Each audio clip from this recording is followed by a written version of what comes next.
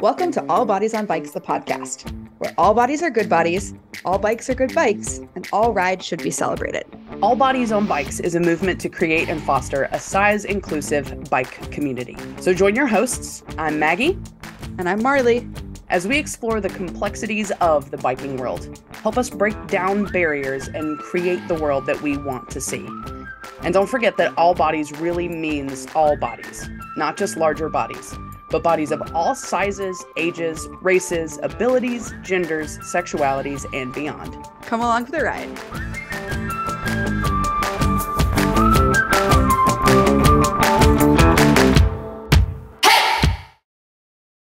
Hey, Maggie. Hey, Marley. Welcome back to another episode of All Bodies on Bikes. Uh, really excited for today's guest. Uh, I got to meet her at Steamboat Gravel last year and just felt like this immediate kinship with her. Um, so it's been really fun to follow her adventures over the past not quite year, um, but just follow along on the internet because she's been up to some really, really cool things. Um, so let's go ahead and read her bio. How's that sound? Perfect. Do you want me to read tell it? me all about her. I'll, I'll read it. You tell me all about her. Okay. Um, so Oliviah Franke uh, uses she, her pronouns, and she's a biracial Chicana who is passionate about social justice, advocacy for inclusion in cycling, plants, and her two cats. She was born in Portland, Oregon, but is proud to call, I'm going to say this totally wrong, Denai. Is that how you say it? Dena'ina. Dena'ina, thank you. Dena'ina lands in Anchorage, Alaska, home now. She works in community education at a nonprofit called Native Movement and also spends time working in community with other cyclists to organize and facilitate BIPOC affinity rides in Anchorage. She considers herself to still be a novice cyclist, having just gotten into bikepacking, winter rides on frozen bodies of water, and cycling with groups. She was a 2022 Ride for Racial Justice team member at Steamboat Gravel. For Oliviah, the bike is a vehicle for liberation. Her identities as queer, larger bodied, BIPOC, adopted, and femme. They are all made free and celebrated when she is having fun and pushing herself on a bike. Oh, I'm so excited for this conversation. Thank you so much for joining us, Oliviah. Thank you. Thanks for having me. I'm excited to be here. Um, and this is kind of say good morning, but I think it's afternoon where you are. It's afternoon where I'm at, but you're in Alaska, right? We have guests two weeks in a row from Alaska, which is really cool. yeah. How are things up in Alaska this week? They're good. Oh my gosh, they're sunny, and it's uh, the time of year where like the sun actually has a little bit of warmth. It's still very cold out, to be clear, but if you're walking outside and you're like pausing in the sun, your face might feel a little warm. So oh. things are turning turning around. Nice. I love that feeling. Yeah, it's so good. And it's funny, I I don't get it much in Arkansas anymore because it's we've had like 70 degree days in January and you know, spring is in full on bloom oh. here. But I remember living in Seattle and it was like you get that little peak of sunshine and it's like, "Oh my god, I'm alive." Like this is this is what it feels like. It's going to be okay. it's going to be okay. and I live in the south where we just complain about it whatever it's doing whatever the weather is. It's too wet or it's too hot or something. I know, and and I'm wearing sandals. It's weird. Oh my gosh. But pretty soon it'll be too hot and too humid and Exactly. So we'll take Why is it always get. raining? What was that, Oliviah? I said then you'll just have to come to Alaska. Exactly. For biking. Yeah. Perfect. Um, well, let's talk about Alaska. Um, so you're from Portland, but you live in Alaska now. Did your mm-hmm. cycling um, career or journey did that start in Alaska? Uh, it restarted in Alaska, is what I would say. A rebirth. Um, so yeah, I grew up in Portland, and I grew up, and I did not have a car until I was like 23. I was about to move to Idaho. That was the only reason I got a car. Um, so I grew up biking, but it was not like a joyful, like goal oriented experience. It was like, I need to get to this babysitting gig at five in the morning, so I'm going to bike.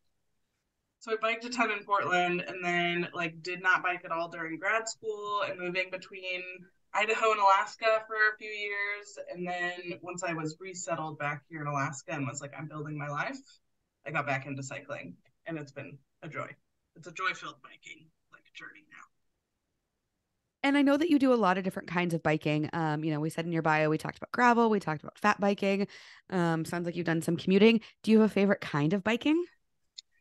It's really hard for me to decide right now because I still feel so new to all of those disciplines. I I do really like gravel. It is hard to find here in Alaska specifically, so there's really only so much that I can kind of like train for or advance towards in the gravel world. Um, but I also really like mountain biking. Um, I'm really scared of it right now because I had a crash last year. But as far as like moving through technical routes and like single speeding or not single speeding, I'm sorry, no, single track riding. I do not single speed, unfortunately. Um, single track, I just like I like that part. Um, that can also be difficult to find in Alaska, just as far as like beginner type stuff. Interesting. That beginner stuff. That beginner stuff is hard to find everywhere, I feel like. Because people call things beginner and then you get out there and you're like, who's beginning? Because this is not my beginner. Yeah. No, no, no, no, no, no. I want a toddler trail, please. Yeah. Um, how did you get into gravel if there's not too much around you? How how did that start? Actually, the main motivation was uh, training for Steamboat. So I got accepted into Ride for Racial Justice, and that was like. I say that it was a little bit of a surprise, but obviously, like I was fully consenting and applying and like doing the whole process. But it was a, a surprise to get in, and then from there, it was like, oh yeah, how do I train for this here specifically? It's a lot of like paved greenway riding for like the endurance aspect of it and we tend to get like pea gravel on our paved greenways from all of the gravel that gets poured down on the snow in the winter. So it's like gravelly. Um, but then there are some like opportunities, like if you go up to Denali National Park or Wrangell St. Elias, there are some like long gravel roads more north of where I'm at. And so if you like are ready to seek them out, you can find them. But yeah, the main motivation was Steamboat, and then that experience just I loved it. It was so fun and like such a good day, and that is really what it's like. I want to just have long, sunny, even not sunny like rainy days, but like long ones on my bike, exploring these country roads. Like, yeah, I just love that feeling, and so I may have to do a lot of traveling to get a lot more of that. I've heard that the Dalton Highway is a, a long road that has a lot of gravel. It is. It is. I've also heard that that is a very intense bike ride. I have also heard that. I, I'm not necessarily suggesting it, um, but you know, it does check a few of the boxes you were looking for. totally. Oh my gosh. I think like five year, five year goal maybe. Um, I have a I have a this year goal of going even farther into Denali National Park because that was incredible last year. We did 22 miles one night bike packing, and yeah, the road is closed to like general public after a certain point, and so you have like the touring buses that are going into the park, but other than that, there's really no traffic on that gravel road, and there's plenty of climbing and plenty of descents and just I mean obviously it's Denali it's like stunning landscapes that you're kind of pretty through, so it's like it's all right I guess it'll do that sounds like a dream um Yeah. it's funny you mentioned Wrangell St. Elias and I have Mm. no I, I think I was just on Instagram a couple years ago and I came across the Wrangell St. Elias National Park Instagram and became obsessed with it um and this is prior to all bodies on bikes becoming a thing but i actually like was probably like two days away from going to work in a lodge there for the summer and my partner at the time was like are you going to have a conversation with me about this or are you just Oh. disappearing and so i didn't end up going um but it's still on my list of places to uh to spend some time Yeah, I've never been. Um, like I've, yeah, I've never been. I've driven past the road that you turn on, but I've heard just incredible things about biking that road. So um, we were actually just talking to one of my friends uh, yesterday about her driving sag wagon and us biking and like yeah so she would like set up camp every night and we would just bike to that point and meet her and i'm hoping that that happens this summer I like that. invite me because that sounds like a dream Oh yeah, we will. Road trip to Alaska, but via the sky. yeah. Um, Something like that. Mhm. Um yeah, you know, words. I say words sometimes. I know what well, you. You did Steamboat last year. Mm-hmm. You did you did a lot of big things last year. Tell us about the things from last year. Man, did I do a lot of big things? I did a lot of stuff on my bike. I loved it. Um, A lot of bike things then. lots of lots of bike things. Yeah. Um, Steamboat's probably like the the biggest, and uh, that was in August. But leading up to that, like training wise, Yeah. man, I don't know what to talk about. Whether it's like bike or biking or all of it, but I'm gonna touch on all of it a little bit. So Do that. Here we go. Absolutely. So, man, yeah, 2022 in a year, like got accepted to ride for racial justice in January, and um, I think this is a story that a lot of people have like heard at least bits and pieces of, but got accepted, and then this bike project started happening where the it's a completely donated bike. I talk about it a lot. It's the main like story for some of my like storytelling uh, projects, but the bike got built. It's completely donated by lots of different industry partners and orgs, and so through that process, there was a lot of learning about like some of the more like nitty gritty, like what goes on a bike, and like how do you make decisions about which headset you want, or which handlebars, or like where do you want your seat, or what kind of seat do you want, and so lots of like learning there, and that was a big process that I really loved. We built the bike and then I trained in Denali. So I think that was like one of my big rides last year was that Yeah. training ride. Um, that was the first time on like a bike that was meant for gravel, that was like meant for my body too. So Hmm. I went into Denali like super nervous because it's a ton of climbing and that's my least developed skill set right now and just having the right bike was incredible. Um, and luckily, that was a positive experience. I could see myself totally freaking out because that was two weeks before Steamboat, maybe, is when I actually got the bike in my hands. So things went well. And then we traveled to Colorado and I raced in Steamboat um, as a part of Ride for Racial Justice. I did the green route, which at the time was my longest day on a bike ever. Heck yeah. I think 39 miles. Uh, Yeah. plus the like biking to the start line. So uh, maybe 40, 42 miles, whatever. Um, yeah, so that was August. And then, of course, because of who I am, I immediately was like, what's my next big thing? And planned the backpacking route in October. Um, and biked with the frame builder who built that bike. So Yeah. I know that was a little bit long, but it was important to bring that back to like the big bike trip in October that happened was to like actually bike with my frame builder, which was like an unreal experience. And uh yeah, there was that. And then the winter the winter slows me down personally a bunch. Um I'm still finding my groove with fat biking and winter biking in Alaska. So yeah, but there were yeah, there were lots of good highlights there from last year. Um, it was a big year for sure. Yeah. And I missed part of this because I had to deal with my dogs. Um, did you mention Chingona as part of what Not happened in the past year? Okay, let's talk about that. Yeah, the bike and the project. Uh, yeah. Um, Absolutely. let's talk about the bike first. So the the name of the bike is Chingona.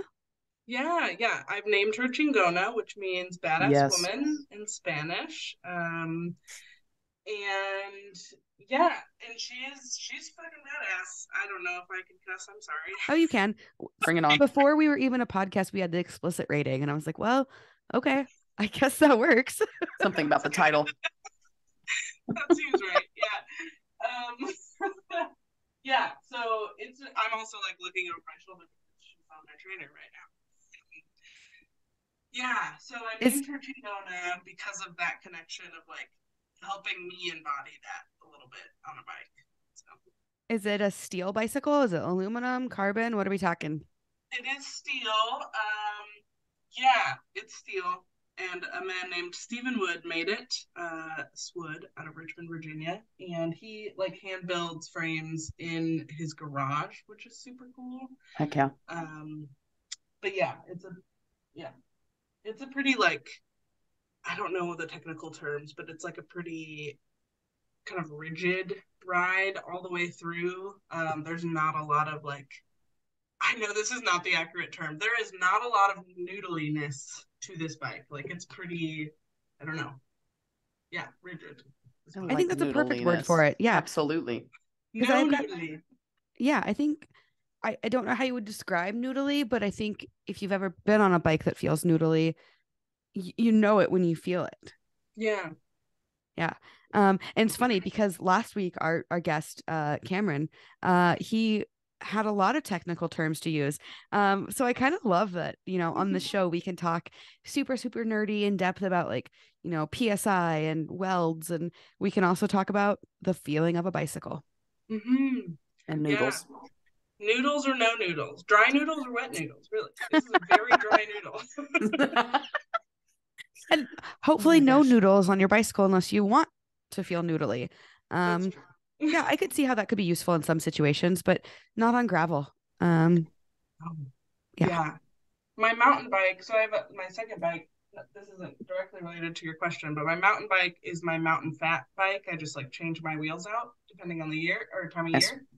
And that one is is like very very squirrely maybe would be another like there's a lot of give in a lot of different places on that bike Yeah. for that reason and I was training on that bike for most of my training for steamboat which as I mentioned I was like on greenways I don't know. It's like not great on your body to be like trying to do endurance long distance, like s- sprinting type training on a very squishy bike. yeah, because a lot of your energy goes into those parts and not necessarily into um, your momentum of moving you forward. Um, Yeah. So definitely, I guess to that end, since you did a lot of training on maybe your mountain bike, um, when you got onto your gravel bike, were you pleasantly surprised with how your body was feeling? Oh my gosh, yeah. It was uh like a totally different experience. Um and I say this all the time, but it is so true. Like having the right tool for the right application for my body was like all three of those things instantly changed my experience. I was able to climb with much more efficiency. I was able to go longer without breaks. I like I nerd out about this and also joke about it because the cranks that are on this bike are a very expensive set of cranks, which is like a little bit counter to a lot of the other kind of advocacy work that I try to do around cycling and inclusion. And so to like have this bike that is pretty fancy and potentially inaccessible, but like I cannot describe to you how instantly I knew the quality of those cranks. Like there was no power loss in each of my pedals. Like it's I don't know, it's wild. So definitely like feeling the difference between the right tool for the discipline was incredible that first time. Well, and I think that's an important conversation in our space that we're creating here because all bodies are good bodies, all bikes are good bikes, all rides should be celebrated. And all you need to bike is a bicycle. Yeah. If you find that it is your joyful form of movement, there are steps you can take, can not have to, to make it even more enjoyable for you. And so it's it's good to have these kinds of conversations. So again, people are are you know bring your bike with the wheels falling off and we'll fix your wheels and go on a ride together uh, and then if you love it we'll just slowly get you even more comfortable and happy to go out on a ride Yeah. Yeah, and I think you know that that raises a really good point. Of there's a lot of us who are working towards inclusion, um, who you mentioned this in Chingona. Um, you know, you got sponsored with a bicycle, and I'm in a similar boat. Um, to where I've been gifted a lot of things that I normally wouldn't be able to afford, and I think just having perspective on that and uh, not becoming elitist, like, oh, just because I have this ten thousand dollar mountain bike, doesn't make me any better than anybody else. Um, and I'm so grateful for the opportunity to ride those bikes. Uh, but at the end of the day, I'm still a dirtbag who likes to ride bikes and sleep outside and have fun. Yeah. Yeah. Um, Well, let's talk about the film. Um, so it was just selected uh for Filmed by Bike. So congratulations. Thank you. Um, tell us about that. Um, what does that mean to you that people are going to see it? What are you hoping people take from the film? Yeah. Oh man, it means it means a lot. It's a lot of like there's the obvious kind of like recognition for hard work that went into just making that film. And um, speaking of previous guests, Cameron did a lot of that, like filming and editing. Um, so, like, a joint project with someone who's very important to me is like also just like a really beautiful thing to put out into the world and to have it like received and celebrated is enormous. Um, also just like how positive of a response it's gotten is huge because a lot of those things that I talked about were like a little uncomfy at first, like a little nerve wracking to share some of that vulnerability about like not feeling like I'm enough or like feeling like I don't belong on a bike sometimes and all of those like internal narratives that we have within ourselves that we don't often share just with the world like that. So to hear so many messages of people who really appreciative of it and like relate to it is also just um it's an honor and like yeah it makes me a little emotional sometimes and i'm just glad that sharing that can can have that impact for people um and like the other part of that is a like personal challenge for myself is challenging myself to engage in storytelling because i often i often just resort to like I don't know. My catchphrase, I guess, has been turning into like, I'm just a potato. Like, who am I? Why would anyone care about my story? Kind of is the attitude I've had for a really long time.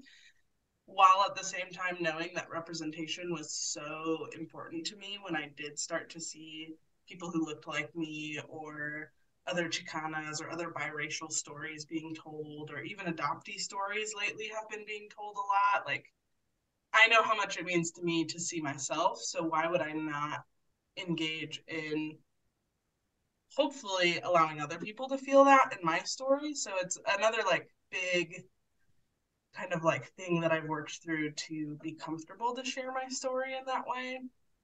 Um, so I really like uh, kind of sharing with folks about that because I know there are so many people out there who are like, I don't know, no one's gonna listen to my story, or like, why would anyone read this or watch this? And like, it's so important for all of us to be able to do that. So that's one thing like that I would hope folks could get out of it. Um, yeah, there's also like planned extensions to that story, like Chingona as it is in the I guess it's the 2023 Filmed by Bike next year is um Chingona 1 and that really explores like personal healing and like healing with my body um and then Chingona 2 will be about that bike, pick, bike packing trip that I mentioned in October with Stephen, the frame builder. And that will really explore a lot of themes around like being an ally in BIPOC spaces and like really healing community through cycling. And then the third one, which is maybe a little top secret, but I, and mostly just because I like really want it to happen and I don't want to jinx it, but Chingona 3 hopefully will follow uh, the experience of going down to Mexico and connecting with my ancestral lands and like planning a backpacking trip down there. So that really is like the healing of yeah, the healing of like culture, heritage, ancestry, um, specifically through land and the bicycle and like place in the bicycle, maybe I should say. So um the goal really with Chingona as like a storytelling project is to explore how the bike connects these ways of healing and to just like have fun on a bike. I don't know. It's a lot of fun. yeah. Oh, I, I can't wait to see part two and part three. Um, you have this quote in Chingona one um, that I, I hope I got this right, but basically you say, you know, I was just me. I wasn't doing anything profound, but this journey wasn't and isn't about doing anything profound. This journey is about doing things with great love. Mm-hmm. And when you said that, I just got goosebumps because I think it's so relatable. Um, you know, I often feel like I'm not doing anything profound. I'm just riding a bike as a fat woman. You know, you're just riding a bike. You're same thing with Maggie. We're all just doing it. but it is that great love that comes through. So, can you tell us what is it about bicycles um, that makes you love them so much and makes you? We just lost Maggie. Goodbye, Maggie. Uh, I'm sure she'll come back. Uh, maybe her love for the bike was just too profound. Yeah. Um, but you know, what would you say to other folks who I'm question literally their ability? crying, so I just stepped away for a second. Oh no. Well, welcome back. Um, so you know, what do you love about bicycles, and what would you say to other folks who question their ability to do profound things?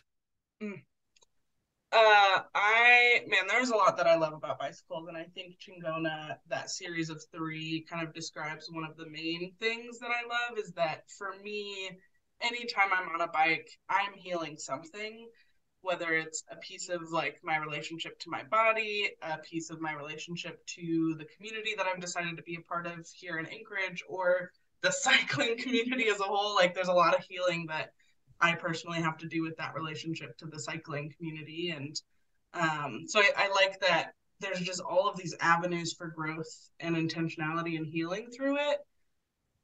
If that's what you want to do. And like for me, that is what I've chosen to do on a bicycle. Um, I also love that you can just like go on a bike ride with a friend and like chat about birds and flowers that are popping up and like whatever. You know, it could be, it's this whole spectrum of whatever you want the experience to be. Um, I also tend to be someone who really does well when I have like goals to work towards, and so cycling potentially as a hobby is something that I can like set goals towards and see myself really moving towards those goals, accomplishing those goals. Like I would have never imagined that I could bike into Denali. Like what? I set that goal, I worked hard, and I did it. and like that feeling of just working towards those things. And again, it doesn't have to be like biking through Denali. It could be like biking to your local coffee shop is your goal. And once you do that, like that's so beautiful. It's so exciting and like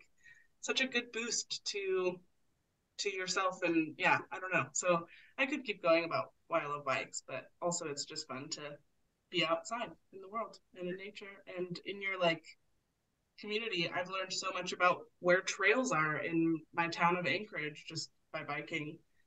Um, yeah, and then to to talk about that second point around like feeling like we can't do profound things is like such a roadblock. And it's like such a self-determined roadblock i think. And it it comes down to like i don't this is such a hard like thing to balance oftentimes at least for myself if i'm getting caught up in like oh i can't do that like i can't achieve that because that's way too big that's too profound that's too important it's because i'm like taking it too seriously in, a, Mm, in a yeah. way Yeah. and then also there's this idea that like if you're doing something no matter how big or small if we're talking about scale like get rid of scale like why are you doing it? Why is it important to you? Like is it bringing you joy? Are you like do you love it? Is it like really deeply impacting you in a positive way? And like that's the great love that you're pouring into it. And i think we sometimes don't take that seriously enough. Mm-hmm. so where is this balance where like what is the impact that we're trying to have? Like let's not take that too seriously but what is the energy that we're pouring into it? Like let's take that really seriously and just like deeply love ourselves and what we're doing at every point that we're doing it. And when we stop loving it then just don't do it if that makes sense. I don't know. I could this is like such a hard balance to to achieve but i think the great love like what is the energy that i'm pouring into this thing that's what motivates me and like keeps me doing things and then hopefully the impact is what the impact needs to be. Yeah. There's a little bit of freedom and like letting go of what you expect the impact to be but instead just doing something for joy and love Yeah. And I think, you know, your work off the bike also relates to um how do I want to say this? Um equality and storytelling and um racial equality and racial racial equity. Um can you talk more about that and how your work off the bike um, relates to your great love for things and then also back to bicycles? Yeah, yeah. Um, so I, yeah, so I work at a nonprofit right now and I just recently started at this new nonprofit. So just broadly, like my background has always been around education and um, but I've always approached that as like I'm not the sole teacher in that experience.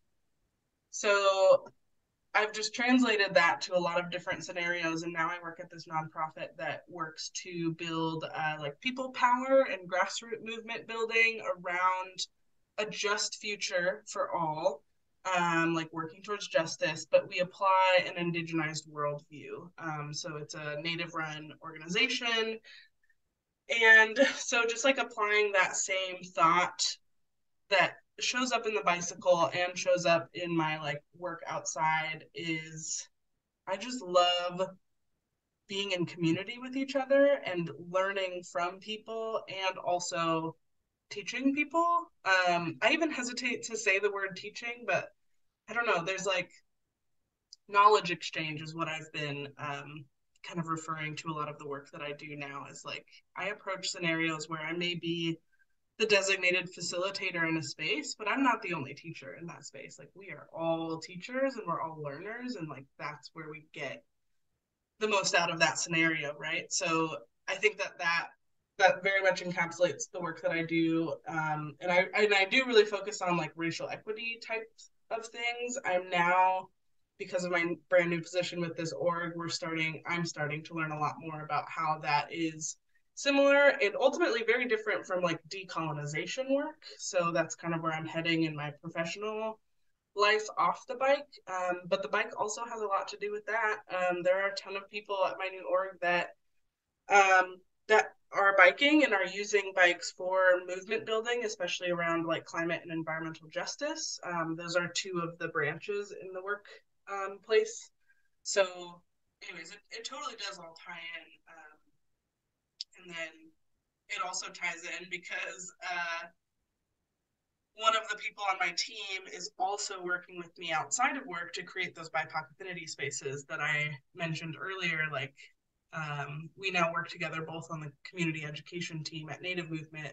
And then in our free time, we're developing these affinity spaces that um, that have just been really well received here in town. So yeah, it is all totally connected. I feel like I'm in this headspace of like equity and um, just like social justice, really, um, pretty much in everything that I do. And I like thinking about those tendrils. Just it impacts so, so much of who I am. So why do affinity spaces why do we need them? Oh gosh. Well from my experience one like example that i'll bring up a lot is um so i'm biracial chicana mexican american and there is going to be spaces in which i don't feel enough of either of those things and i think that came up in Chingona a lot um but in spaces where I'm with other bi or multiracial people, our experiences are so similar, even across different racial makeups. So, um, one example that I'll often bring up is that I've experienced spaces where I'll be with um, like Asian Americans that are half white and half Asian, and their like lived experience around how we feel and our identity, like journey and connecting with our journey, um, is so similar no matter what our racial makeup is. And so there's this like really beautiful thing that starts to happen where you can exist in these spaces where you don't necessarily have to describe every single detail or like put all these caveats to explaining your experience um, when you're in a space where that shared experience is kind of just like unspoken you can get to some of these deeper meatier things. You can start talking about what do we want the future to look like? What is the impact of feeling like i'm not mexican enough? Like how does that relate to how i show up in spaces any space really? So i think that's like my example of why affinity spaces are so important to me is that it allows this kind of filter or one filter to kind of be taken off for a little bit I don't think that affinity spaces only are the solution, but they're definitely like so important and like such a relief.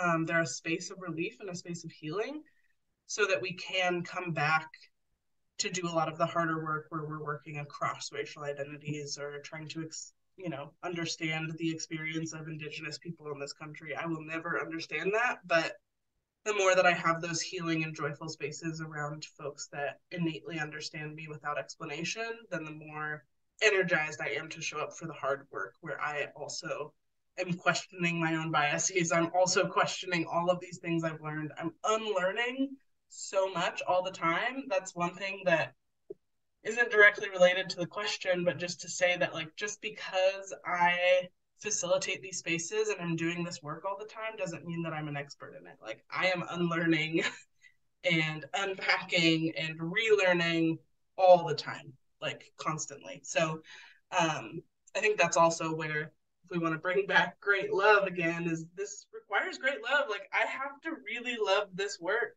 in order to do it all the time because i'm doing it with other people. I'm facilitating it for other people, but I'm also constantly facilitating it for myself. Um, so I think I got off on a little bit of a tangent there with the direct question, but yeah. it was a beautiful tangent. And I think you bring up a really good point of when this work does become all consuming, you have to have great love for yourself too and great compassion. Um, mm.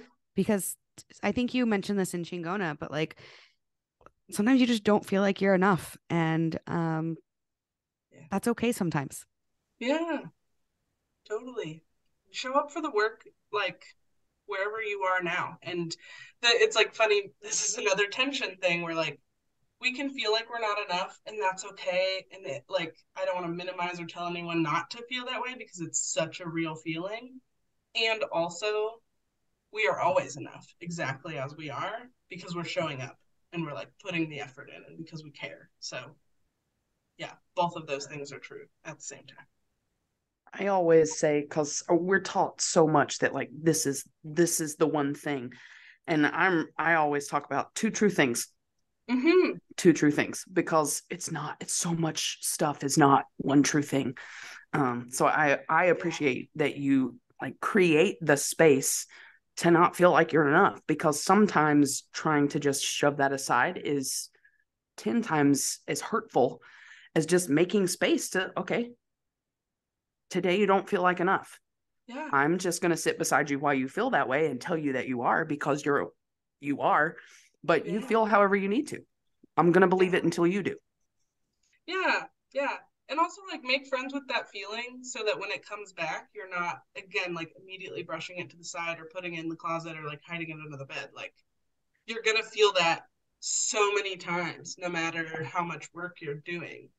Um yeah yes and is mm-hmm. something that i like say a lot in my facilitations where people are like well isn't this thing true like yes and here's this other thing that is simultaneously just as true.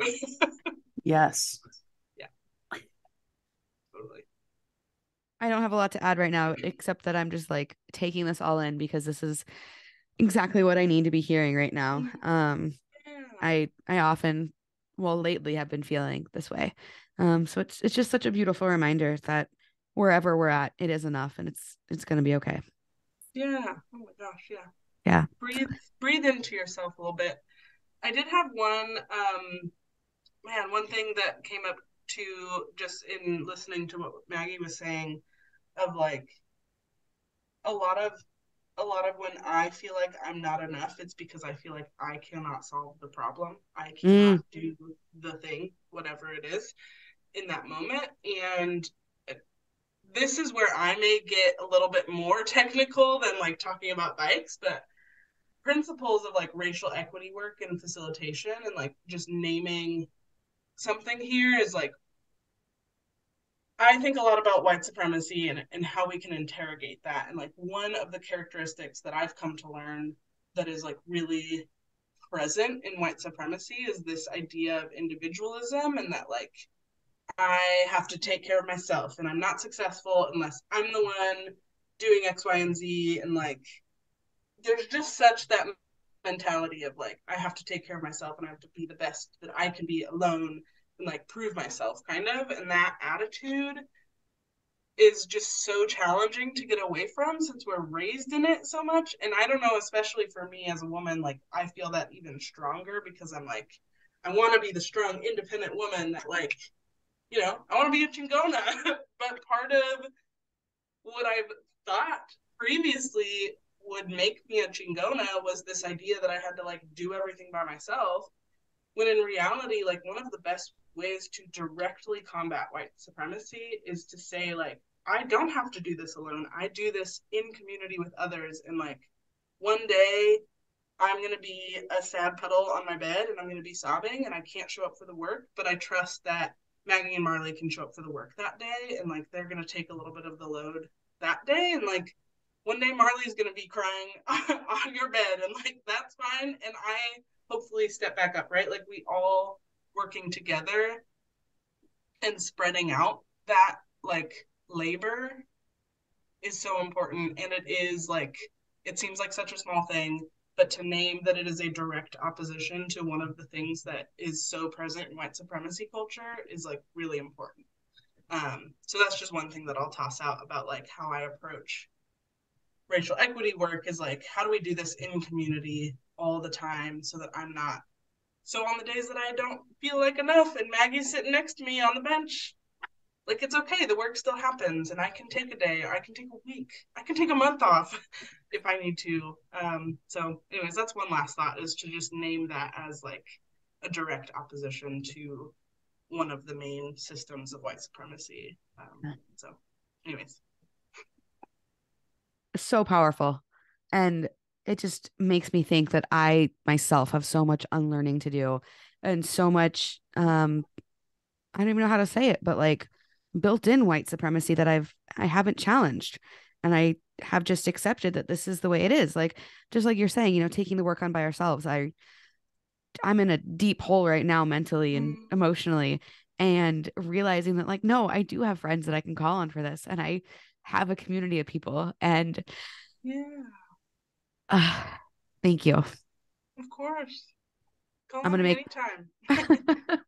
I know I'm really far away, but but uh, you know, in today's world, uh, you're just a phone call away.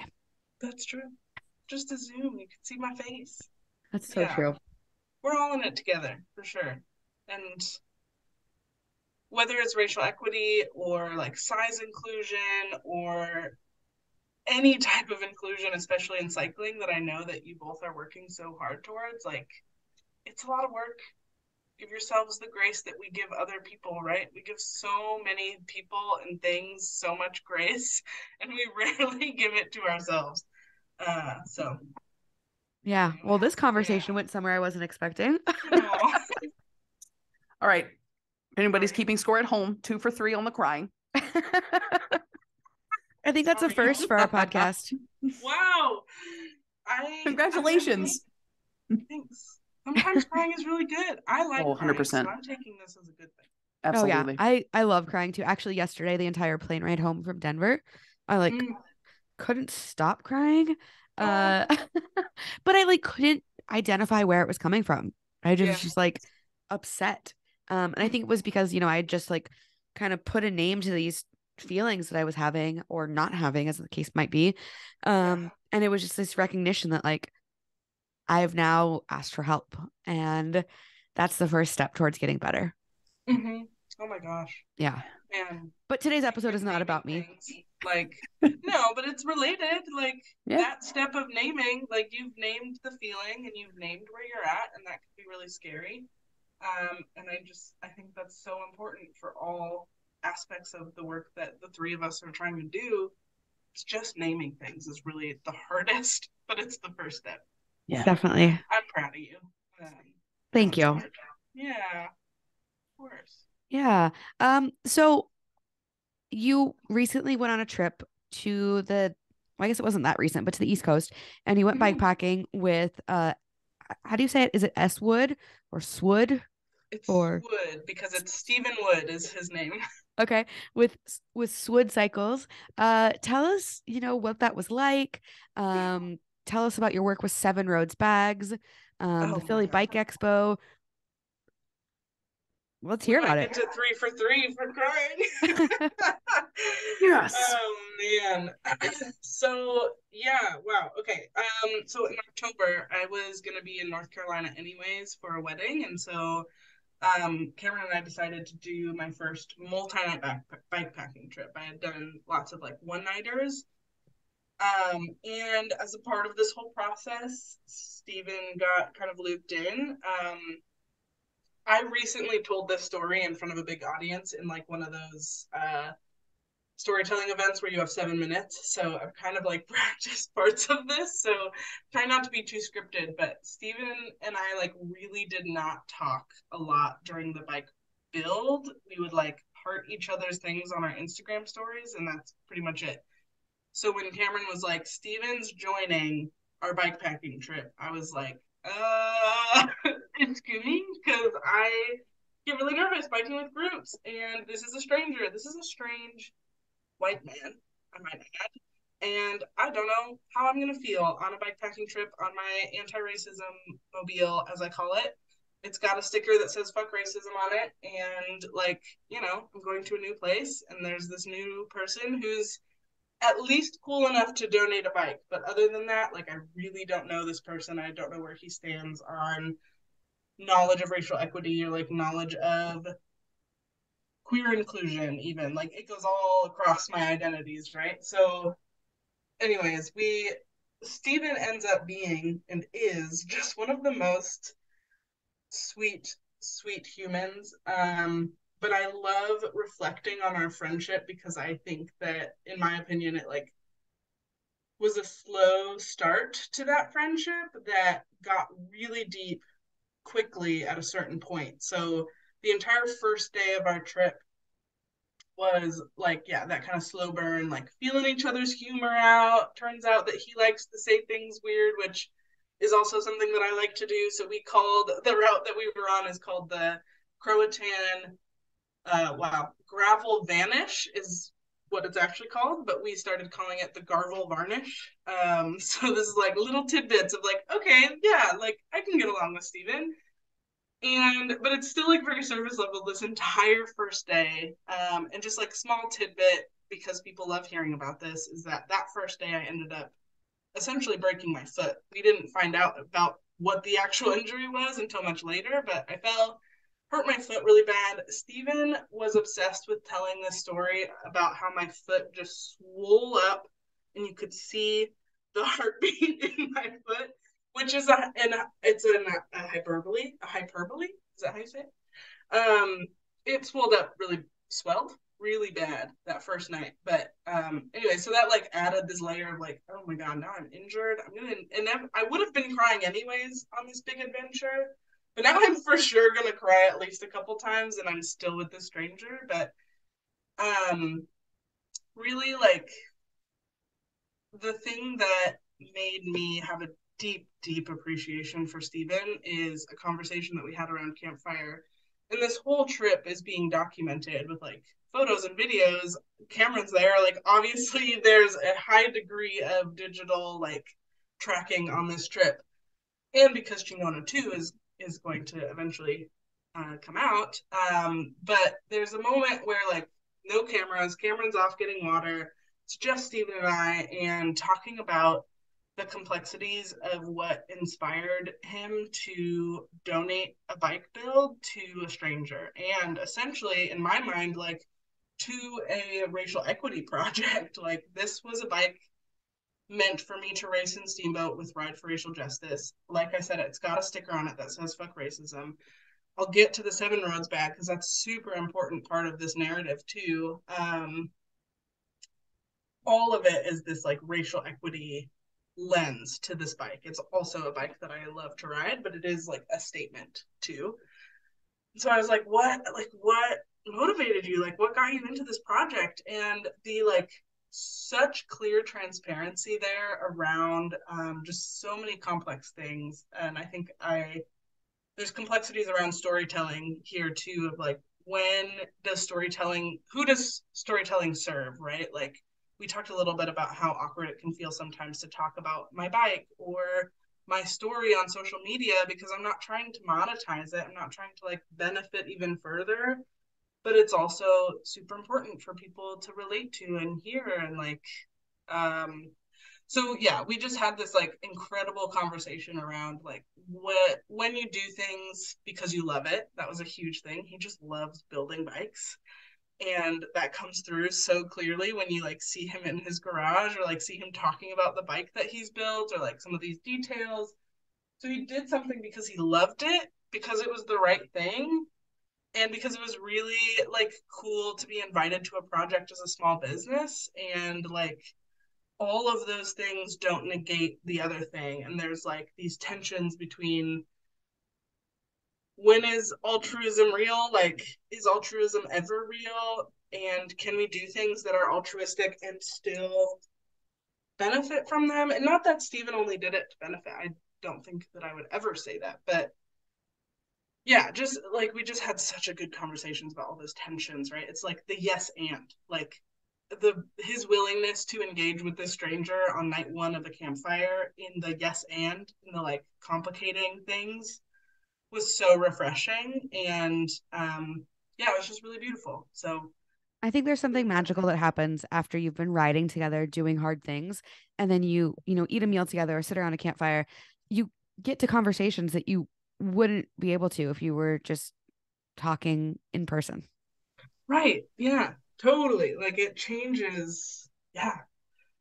Yeah. So that was just really beautiful and we became really good friends like deep deep appreciation. Um i haven't really talked to him too much since you know again we kind of go back to like interacting with each other's stories on instagram but um like yeah that profound appreciation for him will never change no matter like if we don't talk for a whole nother year. So um i love friendships like that. Like yeah. i love deep friendships but i also love those that you can just pick up when you haven't seen each other for a year and it's the same. Yeah. And I know that I'll support him and he supports me. And one thing that I'll say just um, about the bags, because you specifically brought it up, it's such a beautiful part of the project and the story. And Maggie was here for this for this journey. So the the whole set of bags on this bike uh, was donated by a company called Seven Roads or Seven R on Instagram, and they are based in Ukraine. And throughout this bike build, they like this is all told through. So again, Cameron did a lot of the coordinating on the details of this project. So this is my like repeating of what he has told me. But in the midst of moving their factory because they were in a war zone in Ukraine, they looked up what Ride for Racial Justice was, what Black Lives Matter is, like what this fight for racial equity is in America. And in like learning, essentially said, and again, I wasn't privy to this conversation, but essentially said, like, it's not the same at all, but it feels similar to how we're being prosecuted in our country right now. And we want to be a part of this. So like I I get chills every time. This is the part where like I sometimes really just want to sit in a puddle and sob because this and they're like run by I think just three folks and they do so much good work. Um their their bags are incredible. Aside from everything else that went into that, like the bag is just incredible. It's um yeah, and so they screen printed. I don't know if it's screen printed, but on all of the bags, it, one of them says Black Lives Matter. One of them says fuck racism, but the S is actually a Z because of translation things. And so it's racism. and uh, it says ride for the racial justice. And I just love it because it's this like beautiful, tangible example of like relating to a struggle and relating to a fight and just hopping right on board and like supporting it. And since then there's and i don't i don't know anything about this except that i've just seen it on instagram. Since then other people who have gotten their bags have also put like the ride for racial justice logo on it or fuck racism or black lives matter. And it's just like such an honor that this company now is supporting this this movement here. And people from all over the world are like yeah i want a bag that says fuck racism or or Black Lives Matter on it, like of course. So just really, really beautiful story and like another example of I feel like I'm friends with those folks. We've only interacted on Instagram. I've only like posted and tagged them and been like, thank you so much. Um, but I really do feel like a friendship and kinship with them and the funniness of the story of just like getting them on the bike with Maggie is that they landed, they arrived in Alaska probably an hour after I had gotten to the airport to fly to North Carolina. Oh So no. They arrive at my doorstep. We get a delivery confirmation. We're like, uh, we're like in the airport. Our bike is packed into the plane. Like, what are we gonna do? So we, two different people in Alaska, worked together to retrieve the package from my house, to reroute it to Maggie's address in North Carolina, get it to the post office. Just you know, we're like calling while I'm getting my nails done because I was a bridesmaid, so I was like in the nail salon, like trying to figure out where to send this package.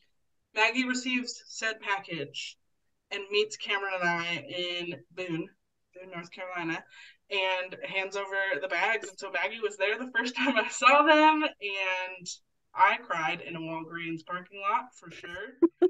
Because they're just so beautiful. They're like They are. beautiful tangibly, and they're beautiful just because of what they mean and like Yeah. the story. And like it took, and then yeah, I mean, geez, I can be symbolic all day and just say like it took a whole community to even get them into my hands for that first ride. Like just beautiful. Anyways, yeah, I love those bags.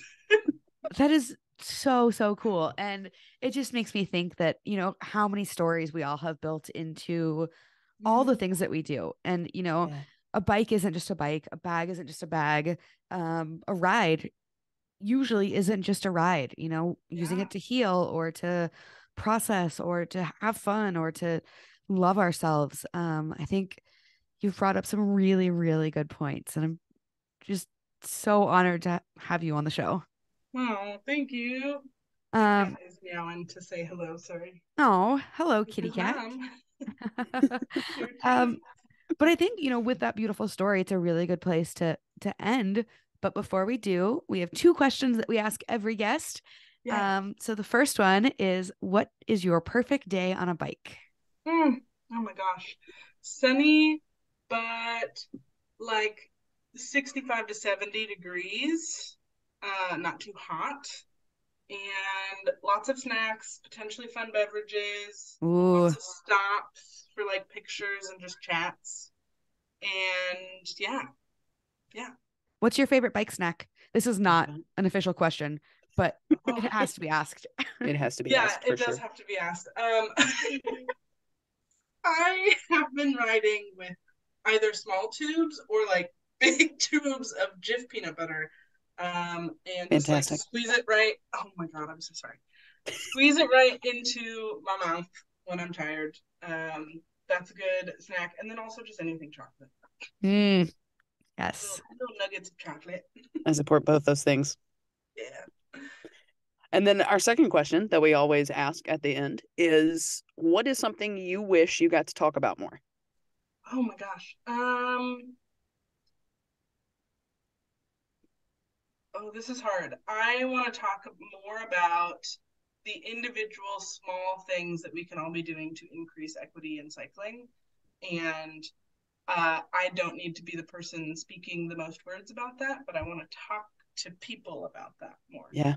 So, hey maggie i heard something really exciting is happening next week is is that true You know, I actually heard that as well. I I heard a little bird, a little bird told me that on March the 28th, that's tuesday that's a Tuesday, uh, at the National Bike Summit in What? Washington D.C. Right? You know, just super casual.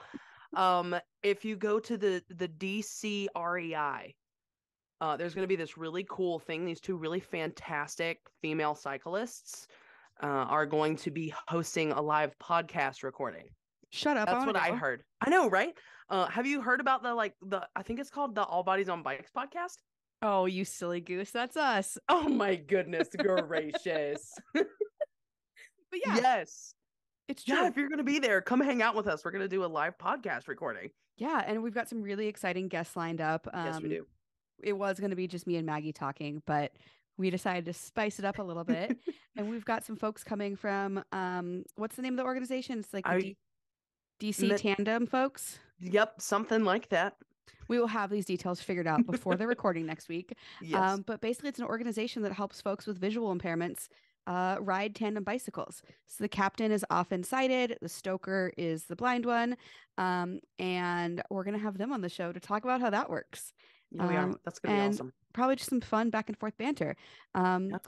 So if you're in the DC area, please feel free to come join us. Um, it is open to the public, and it'll be at the DC flagship REI store at 7 p.m.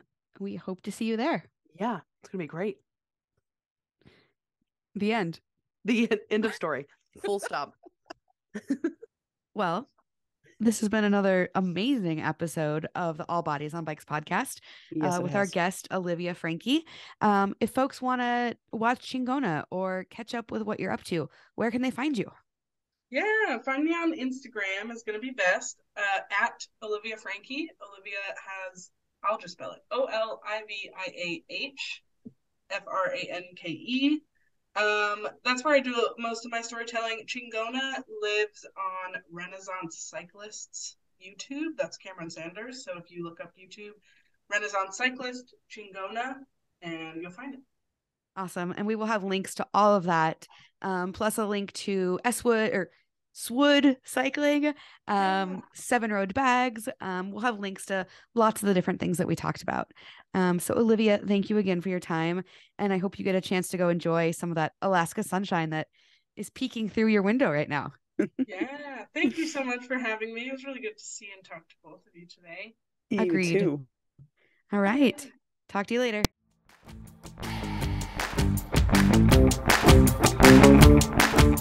This is an All Bodies on Bikes podcast powered by Feisty Media. The show is produced by Maggie and Marley and edited by the team at Feisty Media. Thanks for listening.